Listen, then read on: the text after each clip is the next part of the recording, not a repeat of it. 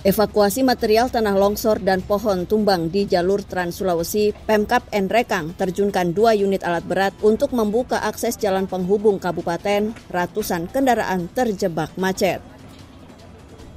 Tanah longsor di jalur Trans Sulawesi, tepatnya di Mariso dan Kulinjang, akhirnya mulai dibuka setelah Pemkap Enrekang menurunkan dua unit alat berat ke lokasi kejadian.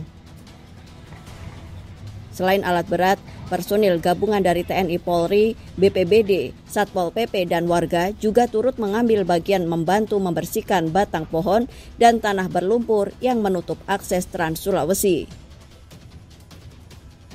Tak adanya jalur lain membuat ratusan kendaraan dari dua arah, baik yang hendak ke Kabupaten Enrekang maupun sebaliknya, tak bisa melintas. Bahkan beberapa di antaranya terpaksa memutar balik.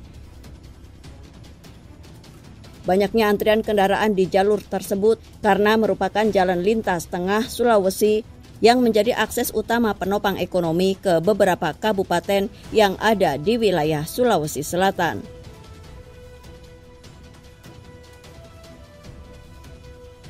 Lama antri? Wah, sudah lama, mulai dari pagi. Mulai dari pagi nih. Tujuan mau ke mana? Ke Makassar. Baru bawa balangan bawang balang,